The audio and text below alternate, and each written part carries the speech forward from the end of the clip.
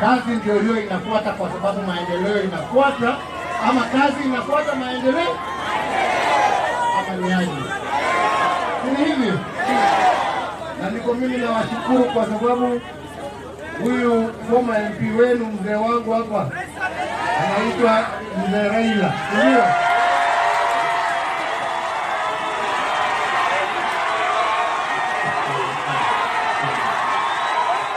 Siwataki tulishikana, siwataki